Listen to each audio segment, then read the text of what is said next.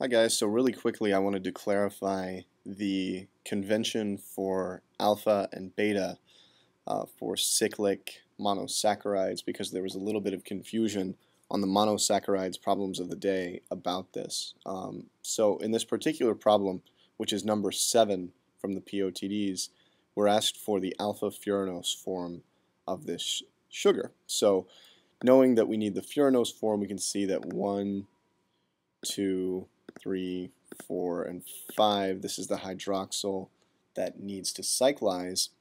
And originally what uh, I had thought was that the alpha anomer would be the anomer in which the aldehyde oxygen ends up on the same side of the Fischer projection as the cyclizing oxygen. So in other words, just to draw this really quickly in ACE Organic, what I thought the alpha anomer would be is this anomer here, where the oxygen, which is on the right-hand side, right, is going to cyclize onto the aldehyde, and in the Fischer projection, push it off to the right-hand side, like so. So as you, you can see here, the cyclizing oxygen and the aldehyde oxygen are on the same side of the Fischer projection, so I thought that this was the alpha anomer. Actually, it's not. The actual convention involves this hydroxyl and not the one that's doing the cyclizing. So the actual convention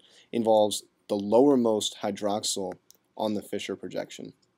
So in fact, even though the hemiacetal oxygen is on the same side as the aldehyde oxygen, this is a beta anomer. This is the beta furanose form because the oxygen here and the oxygen here are on opposite sides of the Fischer projection.